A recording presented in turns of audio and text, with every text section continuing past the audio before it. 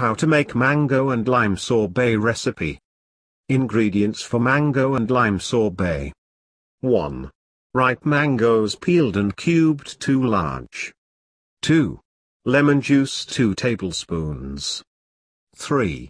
Ginger sliced 1 inch piece. 4. Fresh mint leaves 5 6. 5. Sugar 2 cups. 6. Ice cubes as required. Method.